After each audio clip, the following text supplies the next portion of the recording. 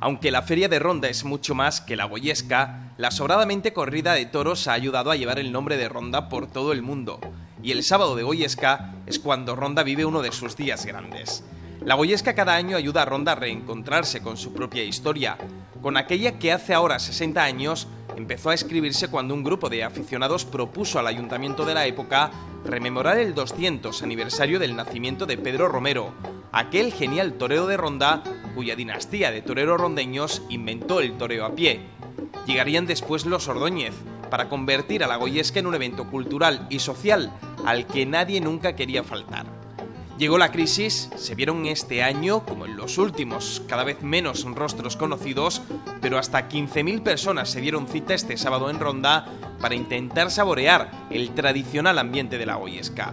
Sin políticos, puesto que desde hace ya algunos años evitan que se les vea en la plaza, este año tuvo un nombre propio entre todos los rostros conocidos el del Premio Nobel de Literatura Mario Vargas Llosa. Acabó viniendo finalmente a presenciar la corrida tras ser invitado por la plaza y por el ayuntamiento. Junto a él, algunos incondicionales que nunca faltan a la cita. Siempre estoy en el día señalado, en la ciudad más romántica del mundo. Siempre que vengo me pongo a leer a los viajeros románticos que dicen cosas tan maravillosas de, de ronda y luego se puede decir que este es el día señalado porque hay dos momentos en los toros cumbres, uno es ronda y otro es el domingo de resurrección en Sevilla. ¿no? Y entonces, eh, bueno, el reencontrarme con la ciudad, con su paisaje, con su paisanaje y con su belleza, a mí siempre sería un lugar en el que me gustaría vivir en algún momento. Ronda es única. Yo siempre que puedo, cuando tengo amigos de fuera, amigos extranjeros, estuvimos aquí con unos amigos americanos hace tiempo, porque este verano, hace unos meses, porque tiene un encanto especial.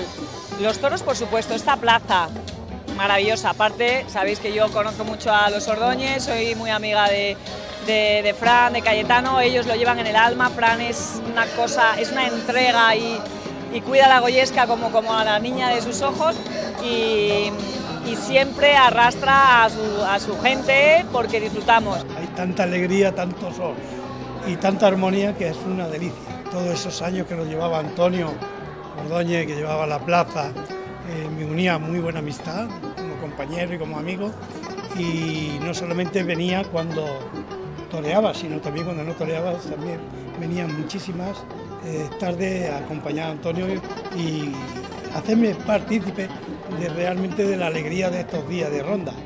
Los alrededores de la plaza se convirtieron el sábado en un auténtico hervidero. Dentro 5.000 personas pudieron sentarse entre las columnas de piedra del bicentenario coso rondeño.